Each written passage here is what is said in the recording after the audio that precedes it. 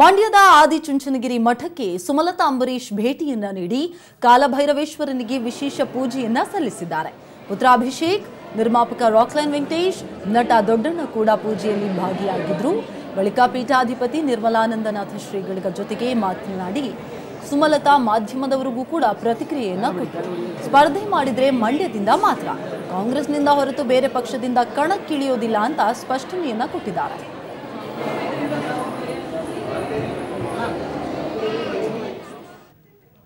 ತಾಯಿ ಎಲ್ಲೇ ಹೋದ್ರೂ ಸಪೋರ್ಟ್ ಮಾಡ್ತೀವಿ ಸರ್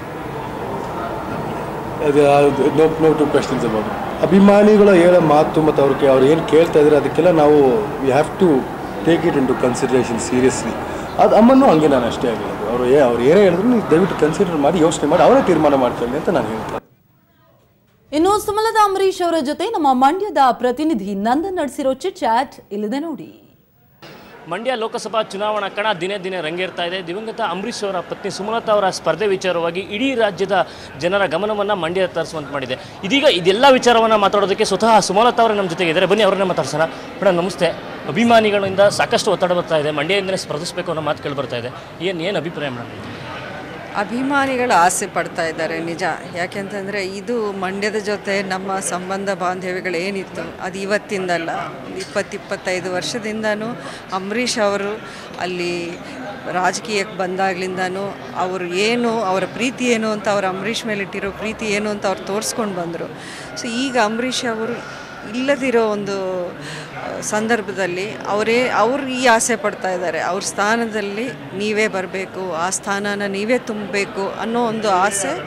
ಅದನ್ನು ನಾನು ಪ್ರೆಷರ್ ಅಂತಲೂ ಹೇಳಲ್ಲ, ಒಂದು ಪ್ರೀತಿಯ ಒತ್ತಾಯ ಅದು. ಸೊ ಅದನ್ನು ಆ ಪ್ರೀತಿನ ಬಿಟ್ಕೊಡೋಕ್ಕೆ ಅಥವಾ ಕಲ್ಕೊಳ್ಳೋಕ್ಕೆ ಯಾರಿಗೂ ಇಷ್ಟ ಇರಲ್ಲ.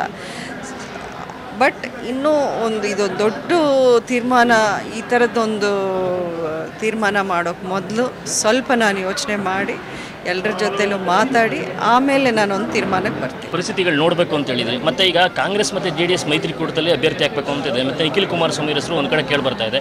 ಇನ್ನೊಂದು ಕಡೆ ಅಂಬರೀಶ್ ಅವರು ಕಾಂಗ್ರೆಸ್ನಲ್ಲಿ ಇದ್ದಂಥವ್ರು ಮತ್ತು ಈಗ ಕಾಂಗ್ರೆಸ್ಸಿಂದಲೇ ಟಿಕೆಟ್ ಕೇಳ್ತಾ ಇದ್ದೀರಾ. ಮತ್ತು ಪಕ್ಷೇತರವಾಗಿ ಬರೋ ಪ್ಲ್ಯಾನ್ ಏನಾದ್ರು ಇದೆಯಾ ಮೇಡಮ್? ಆ ಪ್ಲ್ಯಾನ್ ಇನ್ನೂ ನಾನು ಅಷ್ಟು ದೂರ ಯೋಚನೆ ಮಾಡಿಲ್ಲ. ಯಾಕೆಂದರೆ ನಾವು ಮೊದಲಿಂದ ಕಾಂಗ್ರೆಸ್ ಅಂತಲೇ ಗುರುತಿಸ್ಕೊಂಡಿರೋದ್ರಿಂದ ಕಾಂಗ್ರೆಸ್ ಅಂತಲೇ ನಾವು ಎದುರು ನೋಡ್ತೀವಿ. ಕೊನೆಯದಾಗಿ ಯಾವತ್ತು ನಿರ್ಧಾರ ಪ್ರಕಟಿಸ್ಬೋದು ಇನ್ನು ಹೇಳ್ತೀನಪ್ಪ. ನಿಮ್ಮೆಲ್ರಿಗೂ ಹೇಳ್ದೆ ಮಾಡೋಕ್ಕಾಗಲ್ವಲ್ಲ ಇದು? ಮುಂದೆ ಹೇಳ್ತೀನಿ ನಾನು. ಓಕೆ ಇದಿಷ್ಟು ಅಂಬರೀಶ್ ಅವರ ಪತ್ನಿ ಸುಮಲತಾ ಅಂಬರೀಶ್ ಅವರ ಮಾತು. ಕ್ಯಾಮ್ರಾ ಪರ್ಸನ್ ಮಹೇಶ್ ಜೊತೆ ನಂದನ್ ರಾಮಕೃಷ್ಣ ಸುವರ್ಣ ಮಂಡ್ಯ